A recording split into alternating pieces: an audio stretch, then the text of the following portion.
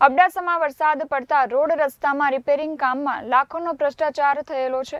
તેવી સ્થાનિક લોકોમાં ચર્ચા થઈ રહી છે. જેમાં એક દિવસ રિપેરિંગ થઈને બીજે દિવસે તૂટેલી હાલતમાં રોડ જોવા મળે છે અને મોરહમની જગ્યાએ ચીકણી માટી નાખવામાં આવી છે. તેમજ તેરાથી નેત્રા જવાના રસ્તા ઉપર મોરહમના બદલે ચીકણી માટી નાખવામાં આવી છે. જે માટી પલળી જતા નાની મોટી ગાડીઓ રસ્તા ઉપર જઈ શકતી નથી. અને ગઈકાલે વરસાદ થતા નાની મોટી ગાડીઓ સ્લીપ થતા નાની મોટી ઈજાઓ થઈ છે.